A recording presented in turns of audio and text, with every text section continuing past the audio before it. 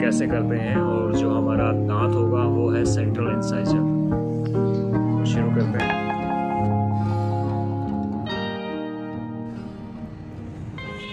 Video की एक ख़ास बात है कि ये जो भी मैं आपको बताने वाला हूँ, ये सब कुछ प्रैक्टिकल बता रहा हूँ, ना कि किताबों के अकॉर्डिंग थियोरटिकल बता रहा हूँ। सो so, ये चीज़ अगर आप समझते हैं तो कोई भी दांत बनाना आपके लिए आसान होगा। जैसा कि मैंने पहले की वीडियो में बताया हुआ कि आपको कॉपी के ऊपर ड्रॉ करना पड़ेगा और जब आपके माइंड में ये चीज़ स्टोर हो जाएगी उसके बाद आपको इस वैक्स ब्लॉक के ऊपर उस डिज़ाइन को उतारना है इम्प्लीमेंट करना है। सो so, हम शुरू करते हैं। सिर्फ़ प्रैक्टिकल काम के लिए। सो so, मैं इसको शुरुआत ऐसे करता हूँ कि एक दांत जो सेंट्रल इंसाइजर होता है किसी इंसान का वो कितना होता है? देखिए, अगर थ्योरेटिकल चलें तो आठ से दस एम mm उसकी हाइट होती है। तो हम उस तरह से ना चल के मैं कहूँगा कि आप बस दिमाग में आइडिया रखिए, आपको कितना लगता है। मान लीजिए इतना दांत होता है तो हम थोड़ा सा एक्स्ट्रा लेके चलेंगे, एक से दो एम mm इस तरह से। फ़र्स्ट यहाँ पे। उसके बाद उसके बाद करना वैसे ही है, जैसे मैंने एक वीडियो में बताया कि जब आप कॉपी पर इसका डिज़ाइन बनाएँगे तो आपको सर्वाइकल लाइन और ये सेंट्रल का जो एक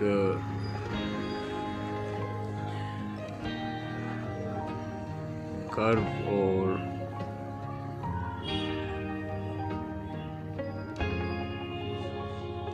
एंगल्स जा रहे हैं, जैसे आपको बस कापी की तरह यहाँ पर एक बार डिज़ाइन करना है, रफली मोटा मोटा अब अगर आप देखेंगे तो ये आपको एक अंदर से, ये देखिए, ये डिजिटल साइड है सेंट्रल की ये म्यूजियल साइड है। आप इसमें थियोरटिकल भी जा सकते हैं, वो मैं आपको बताऊँगा वीडियो के बीच में कैसे। लेकिन सबसे जो आसान टेक्निक है इन चीज़ों को लर्न करने की वो यही है जो मैं आपको बता रहा हूँ। अब अगर देखेंगे यहाँ पर तो एक सेंट्रल का रफ रफ स्ट्रक्चर दिखाई दे रहा है। बस आपको यहाँ पे मार्क कर दीजिए, जहाँ जहाँ पर जो चीज़ है।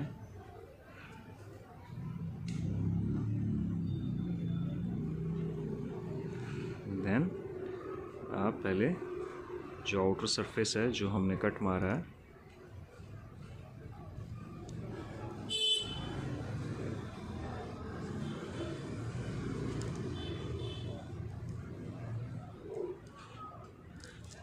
कार्बर आपका अगर शार्प है तो बहुत बढ़िया है।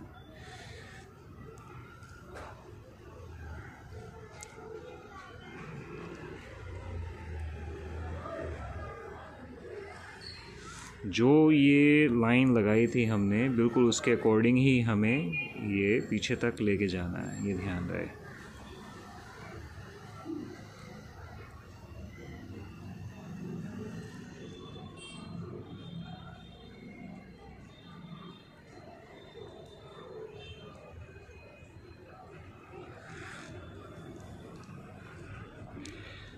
आप देखेंगे, एक साइड से हो गया लगभग। अब हम यहाँ से देखते हैं।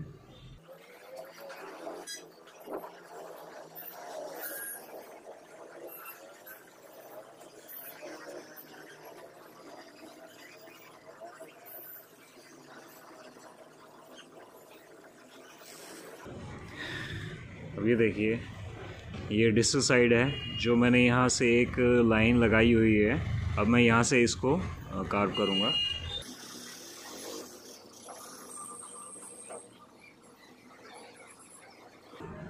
जो बिगनर्स हैं, उनको बस शुरुआत में चेक करते रहना पड़ेगा। बीच बीच में देखते रहना पड़ेगा, सही जा रहा है कि नहीं जा रहा है, कहीं ज़्यादा तो नहीं रब कर दिया है।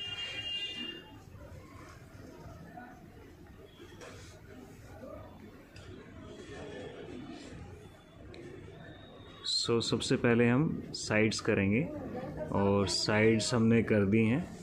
हम यहाँ से जो ये सरफेस है इसका लेबियल सरफेस यहाँ से हम डिज़ाइन बनाएँगे। सबसे पहले हम सर्वाइकल साइड से शुरू करते हैं।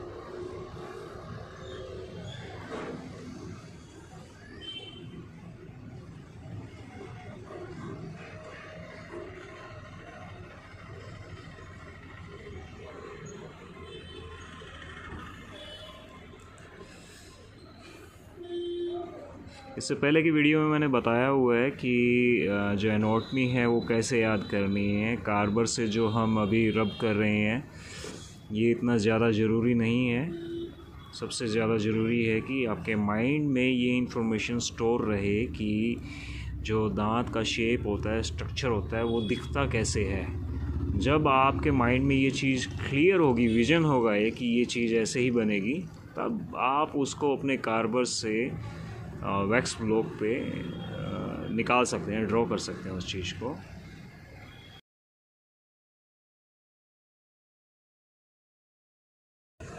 अब इसको और डेप्थ में लेना है बट जो इंसाइजल होता है, वो थोड़ा अंदर होता है। सो हम ये साथ के साथ लेकर चलेंगे चीज़ें।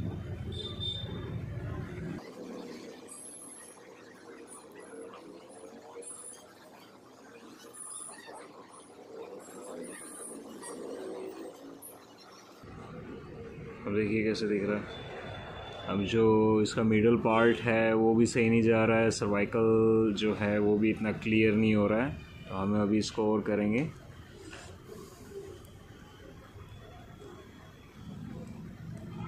इसको मिडल को भी थोड़ा सा करते रहेंगे। राउंडनेस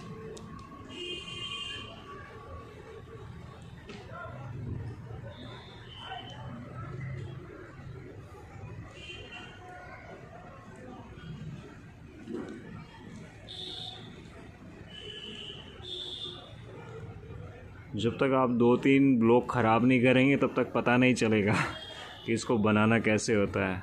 सो so, जो कोई शुरुआत कर देता है इस काम को करने की तो डेफिनेटली दो तीन ब्लॉक पे प्रैक्टिस करने के बाद सही तरीके से बना सकता है।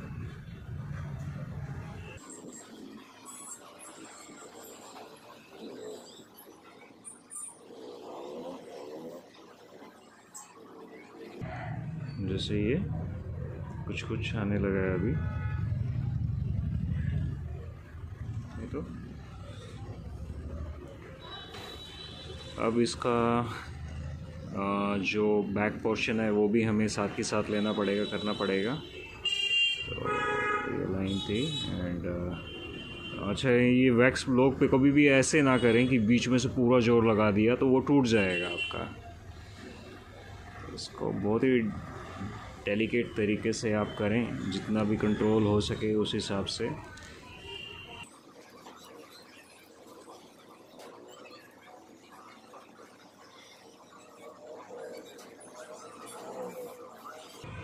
और रूट को कभी भी साथ के साथ मत बनाइएगा। बिकॉज़ जो ये जॉइंट होता है ना, ये कमज़ोर हो जाता है और ये दांत टूट जाता है। उसके बाद स्टूडेंट्स चिपकाते रहते हैं गर्म करके बट चीज़ ज़्यादा बेटर नहीं रिज़ल्ट देगी आपको। कुछ कुछ आ रहा है अभी। लेकिन पूरा नहीं आया है। आप देखेंगे कि जो ये साइड है पेशेंट का लेफ़्ट सेंट्रल इंसाइज़र है और अगर इसको बैक करके देखें तो पेशेंट का राइट सेंट्रल इंसाइज़र बन रहा है।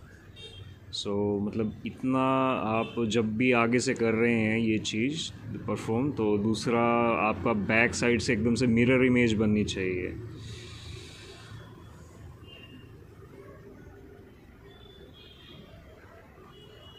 इसका भी जो पैलेटल सर्वाइकल है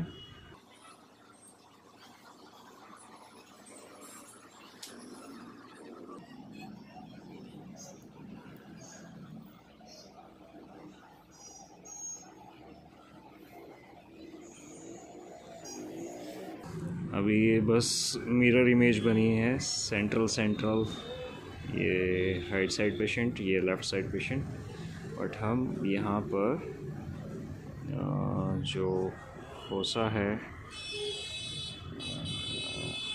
वो बनाएँगे और सिंगुलम की जो शेप है, वो बनाएँगे। कार्बर का एंगल कोशिश करें वैसे ही जाए, जैसे शेप होती है दांत की।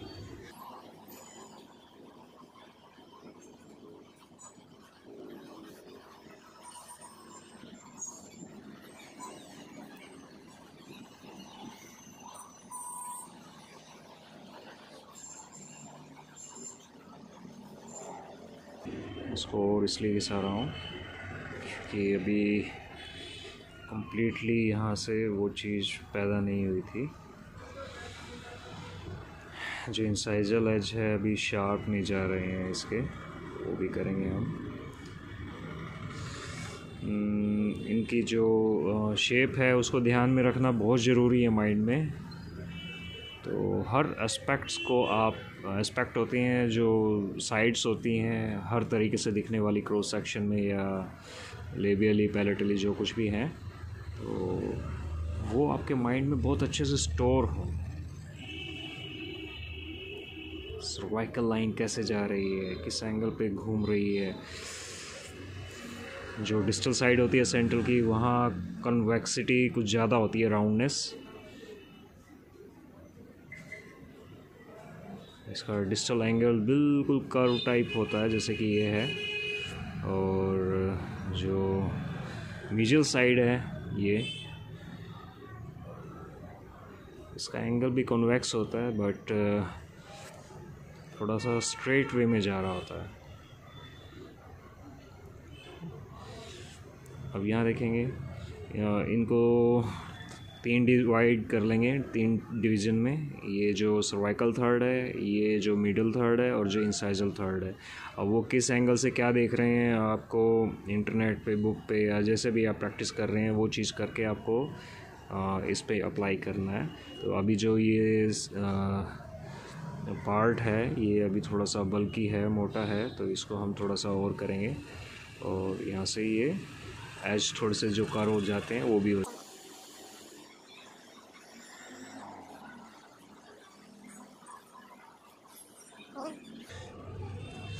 ये एरिया जो है सेंट्रल का, ये थोड़ा सा फ्लैट भी होता है तो हमें इन चीज़ का भी ध्यान रखना है साथ के साथ।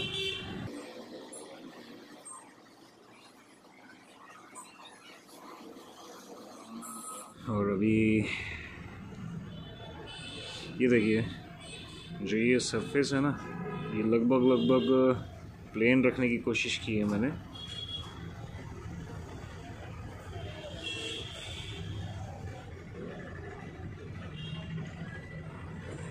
यहाँ से स्लोप जाता है तो इस तरह से आप घुमा सकते हैं कार्बर के एंगल को या इस तरह से।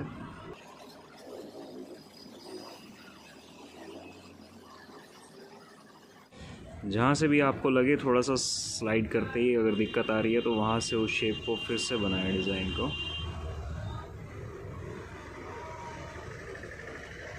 कोई दो मिनट का काम नहीं है, जो शुरुआत होती है वो नई चीज़ की, वो टाइम लेती है।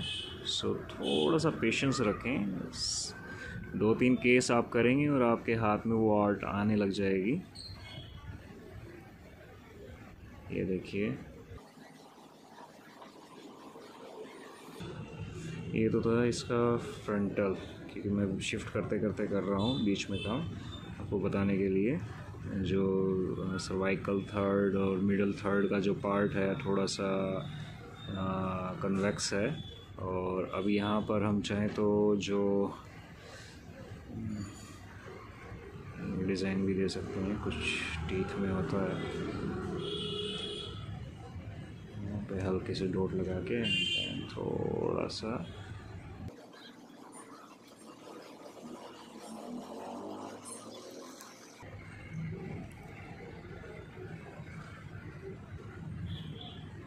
और यहाँ से भी।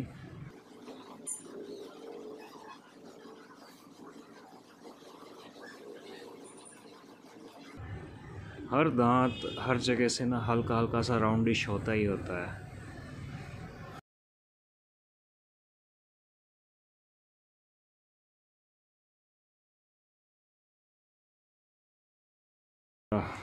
उसको पोसा ही कहते हैं। स्मॉल टाइप है तो उसको फिशर पिट इस तरह की चीज़ें हैं डेंटल की टर्म में।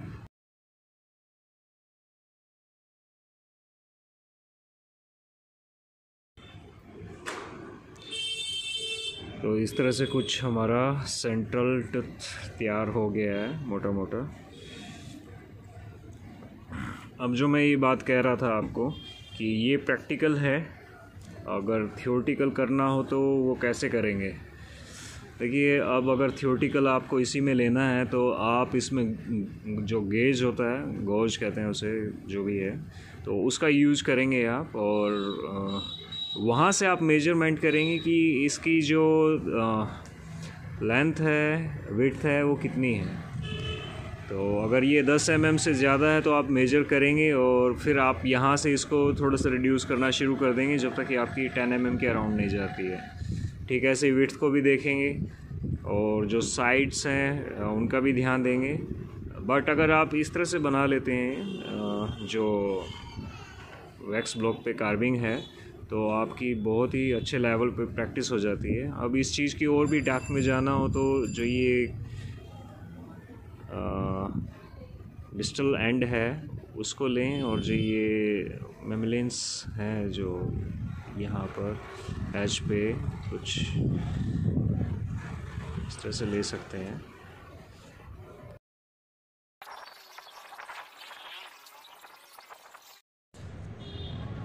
अब इसी में एक रूट पोर्शन भी होता है, उसको कैसे बनाते हैं? उस पर भी डिस्कस कर लेते हैं। आप एक आइडिया ले लें, जो दांत होता है उसके हाइट से थोड़ा सा ज़्यादा ना रूट होती है। तो आप यहाँ पे एक कट लगा लें। सेम ऐसे ही हर जगह।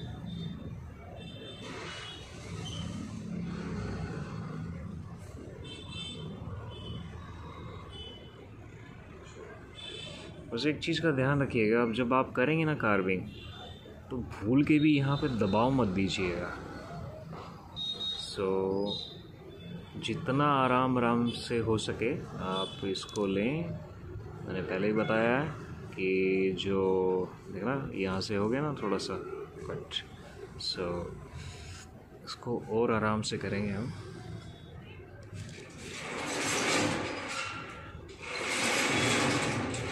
थोड़ा डेप्थ में ले लेते हैं कि जब हम साइड्स करें तो वो टूटे ना।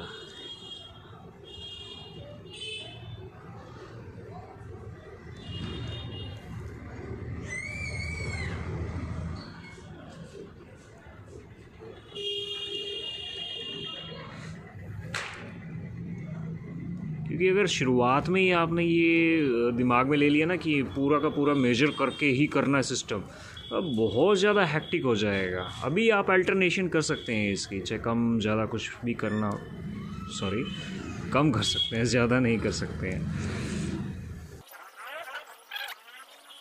और हाँ एक साइड से ज़्यादा मत करें, जितना हो सके थोड़ा थोड़ा करके आप वो करें। कहीं नहीं जाएगा, कुछ भी नहीं टूटेगा आपका ये वैक्स ब्लॉक या कुछ भी।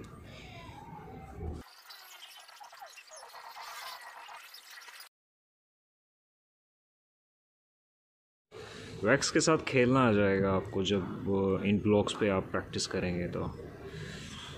ज़्यादा नहीं, सिर्फ़ एक महीना एक महीना आप इनको देंगे और आपकी ज़िंदगी में आप ये ताउम्र भूल नहीं पाएँगे इन चीज़ों को। कि आपकी प्रैक्टिस एक महीने की आपको बहुत आगे लेके जा चुकी होगी।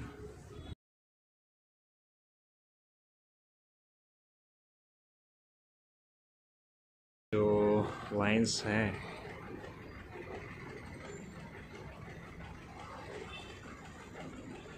को थोड़ा सा डेप्थ करेंगे।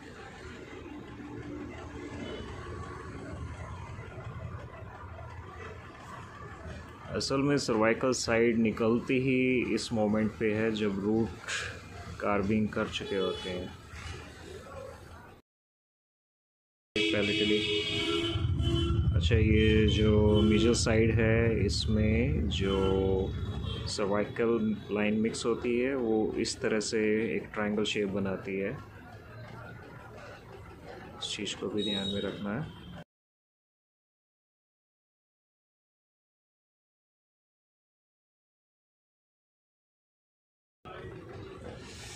बस अब इसको अपने कार्बर से आपने स्मूथ करते जाना है, हर जगह से स्मूथ करने का तरीका यही होता है आराम आराम से ऐसे ऐसे करना कार्बर से, बिना ज़ोर लगाए। लेकिन ये मैं अभी स्मूथ नहीं कर रहा हूँ, जो नीचे जो अपेक्स एरिया होता है, वहाँ से ये थोड़ा सा और स्लिम होता है। तो वहाँ से मैं और शेप दे रहा हूँ। और ये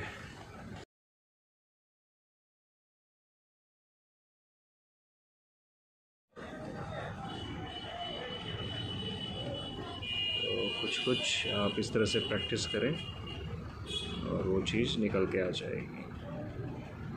सो so, भी देखिए आप ये सेंट्रल इंसाइजर